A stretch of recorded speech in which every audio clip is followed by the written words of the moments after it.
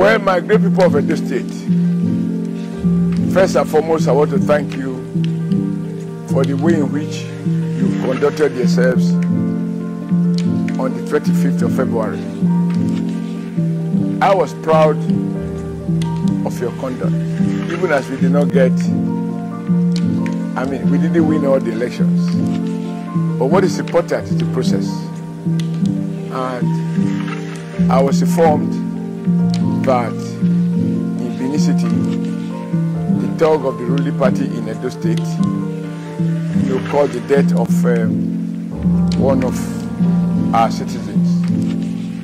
We pray to God Almighty to forgive sin and grant him rest in heaven, and also to punish in his own way at his own time those who are responsible for that premature death.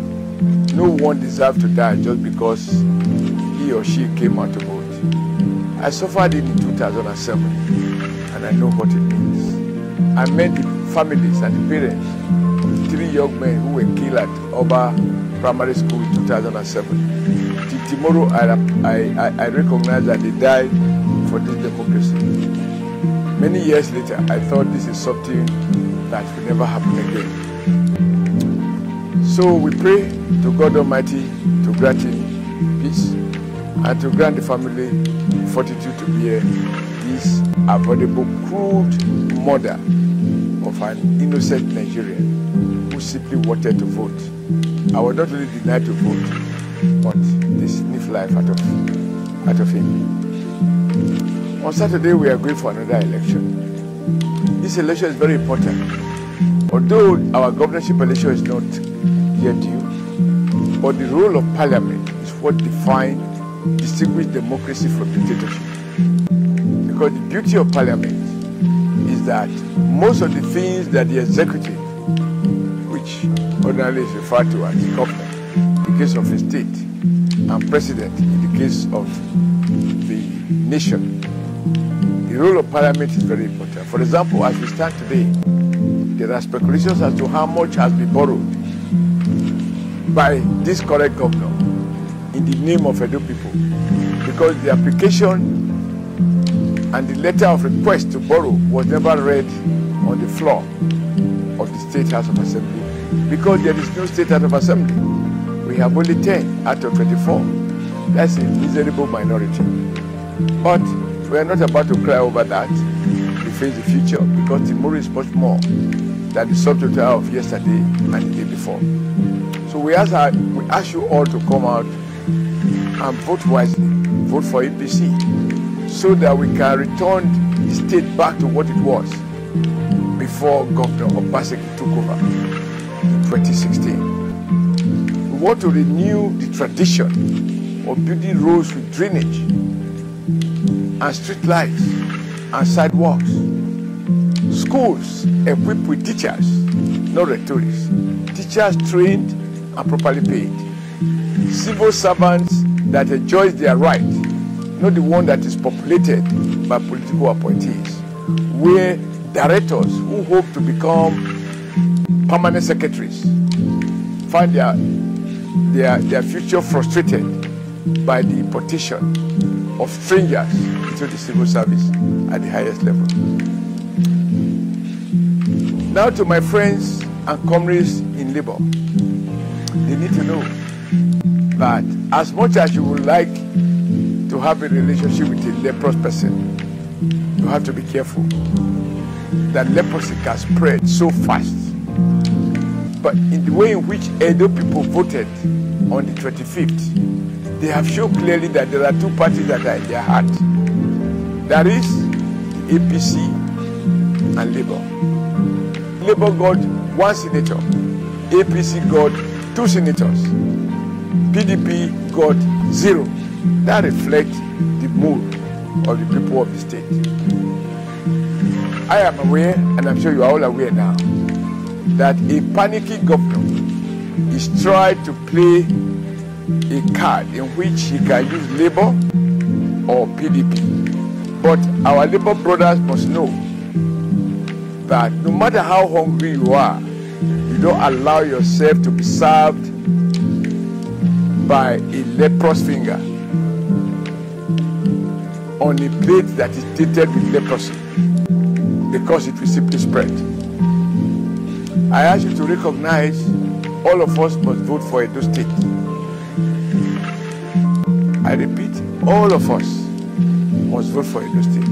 What does that mean? That together we must work terminate the crude manipulation of the instrument of governance that the current tenants at, at Osadebay Avenue has used. All the information available suggests, indeed confirm, that they intend to use violence. But my appeal to you is that two wrongs don't make a right. We are preparing for election, and there will be election, not war. The only instrument you need on Saturday, the 11th of March, is your PVC. Use that PVC to make a statement that those who, for some reason, mistook their temporary power and began to behave like landlords. On the level, you need to remind them that they are indeed the tenants and the people are the landlords. I was here, I had the privilege with your support, other God's watch, to superintend over the affairs of this state. I know that only God is powerful, no man is. And when God concedes or allow you to preside over the affairs of your state, pray that that same God give you sufficient wisdom not to misuse power. Because power without wisdom lead to self-destruct. On Saturday, come out and vote for APC as we begin to prepare for 2024. When I say 2024, because the tenure of the present governor will end in 2024. This is a matter of law. It's not a matter of prediction or revelations or whatever. So that together, regardless of who will emerge, we have a governor that will at least first respect the wishes of Edo people. One that will respect the tradition of Edo people. One that will respect the traditional institutions in Edo State, recognizing the Oba as the paramount ruler of this great state. As I used to say, and I still do believe, Edo, the word Edo is not an artificial word. Our state is not named after river or stone or other objects. It is an ethnic category. We are one and the same. There could be little variations in our dialects, but we are basically Edo people. We know who is our paramount traditional ruler, to whom we all subject, uh, subject ourselves to. We understand those core values of Edo people of respecting elders and all of those things that government ought to do to bring smile to the face of our people. This statement is not to lament what has gone wrong, it is to give our people hope that this is a moment of temptation. But on Saturday, come out and vote for the right candidate. Vote for the APC. We will not disappoint you. I have a clear message from the president elect. President Asiwaju Bola Ahmed Tinubu.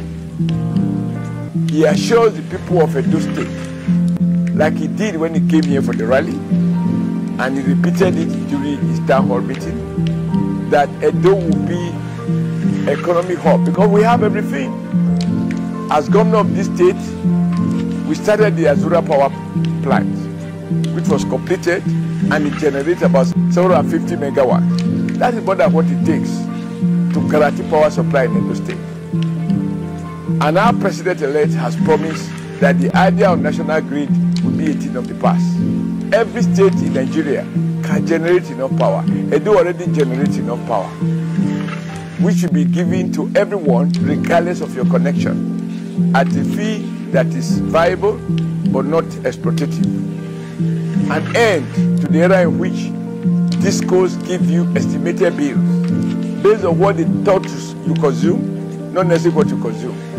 Where they give a bid to community that is much more than the combined income of every resident of that community, even as they usually one or two bulbs in their homes. So this election is important because it is the sum total of the state of the federating unit that constitute the Federal Republic of Nigeria. So retaining Edo with the ruling party is the way to go. We have no business being in opposition.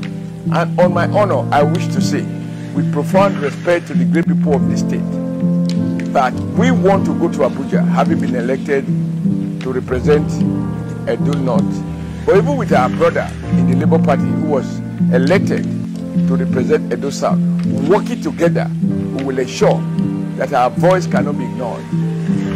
We will defend the best interests of Edo State in the finest tradition of our people.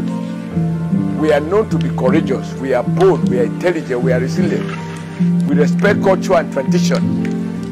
And I want to assure Edo people that as it stands today, with my brother in Setra and my brother in Edo South, even though the one in Edo South is from Labour, it doesn't matter. We share the common passion to this state to the best of our ability. And we cannot be ignored. But we can't do that if our state is in the wrong hand. As you can see, whereas APC governors were unanimous that the sudden change of colors and confiscation of the money earned by people, rich or poor, but particularly the poor, should not be invalidated by the central bank. Edo State governor joined the forces at Abuja to insist that your money expires. I'm happy that God gave me the courage during the electionary campaign to say that the money in your pocket remains valid based on the pronouncement of the Supreme Court. Now that matter is now settled and it's settled finally in favor of the Nigerian people. I'm happy that the president-elect identified with that, uh, with that policy. I'm happy that I vigorously spoke loud and clear against that policy and yet, the man you elected was the one of the two governors who went to court to support federal government that the punishment, the confiscation of your currency was normal and that the court should upheld it. Good news, the court has dismissed it in favor of the Nigerian people. A man like that, whether he come under the guise of PDP, where he actually belongs, or he come in the guise of any other thing, anybody he point at is, is automatically contaminated. I appeal to my brothers and sisters, our elders, our women, our youth to know the difference.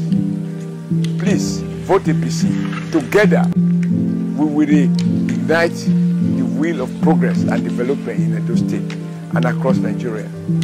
God bless great people of Edo State. God bless our paramount traditional ruler and traditional institution. God bless the Oba of Benin, Oba Atopaye. He said,